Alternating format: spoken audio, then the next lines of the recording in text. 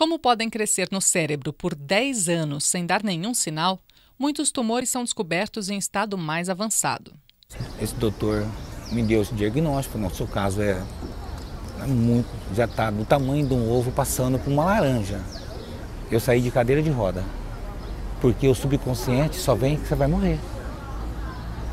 Chegou minha vez e eu em, em duas semanas eu perdi 25 quilos.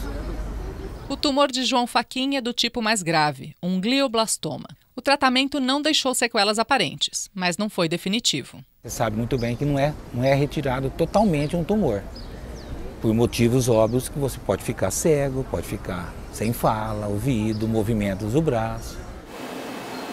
É, como é um tumor maligno que tende a voltar nas bordas da recepção, a gente tem sempre que tentar trabalhar com uma margem segurança sempre que a função cerebral permite. Né? Então, às vezes, é possível abrir mão de uma área cerebral porque é uma área que a gente considera plástica. Ou seja, o cérebro na vizinhança vai assumir aquelas funções perdidas. Ou outras vezes, o paciente já não tem aquela função. Por exemplo, essa moça tem uma hemianopsia, ela não enxerga do lado é, esquerdo do campo. Então esse cérebro aqui já está desconectado. Às vezes não é possível trabalhar com essa mão.